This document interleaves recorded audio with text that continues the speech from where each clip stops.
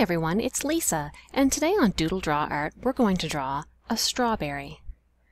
We're going to start off by thinking about the shape of a strawberry, and it's going to be like a circle that extends down to a point at the bottom.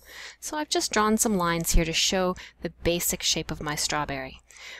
And now I'm going to draw the stem at the top. So I'm going to start off with just a little line up here to show the top stem of my strawberry. And now I'm going to make a line that comes around like this and curves back in. This is going to be one of the leaves at the top. And the same thing on the other side. I'm going to make a line that goes out like this and then curves back in towards the middle. That's another leaf. And now for the next leaves, the these two, they're going to be a little shorter and a little fatter because they're pointing towards us. And this one here is going to come from underneath a little bit, again just to a point, and then back into the middle. And a small line.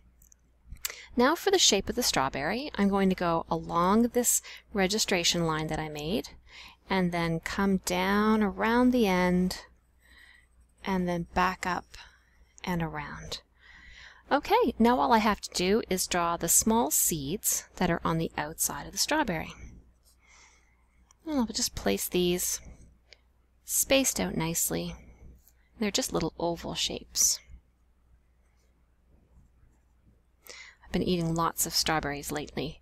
It's the beginning of summer vacation here, and there's lots of ripe strawberries in our area.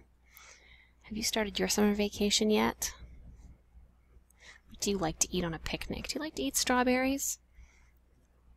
Maybe you can tell me what you're doing on your summer vacation. I think you're drawing. That's my one guess. Alright, so now I'm going to go over this with a marker and then I'm going to erase and color. So that's all there is to it. I hope you enjoyed watching me draw the strawberry today and I hope you drew one too. I'd love it if you would comment, rate, and subscribe.